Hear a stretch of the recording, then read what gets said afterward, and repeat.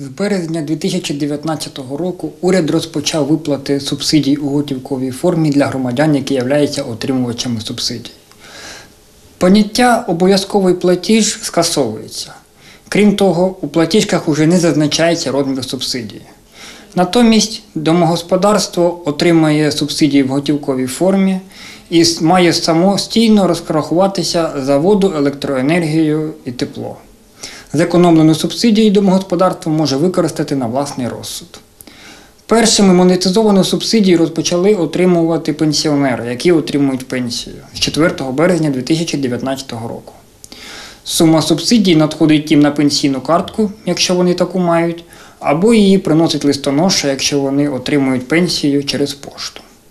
Усі непенсіонери, які отримують допомогу з 2018 року, почали отримувати монетизовану субсидію з 12 березня 2019 року.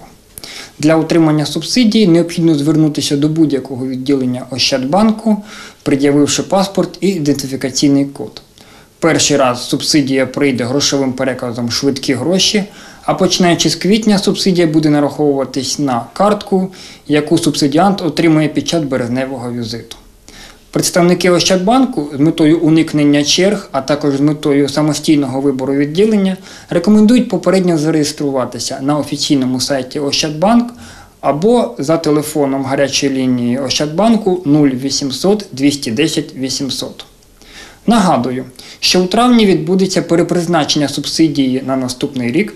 Відповідно, всім отримувачам необхідно звернутися до управління соціального захисту населення, подати декларацію про доходи і заяву.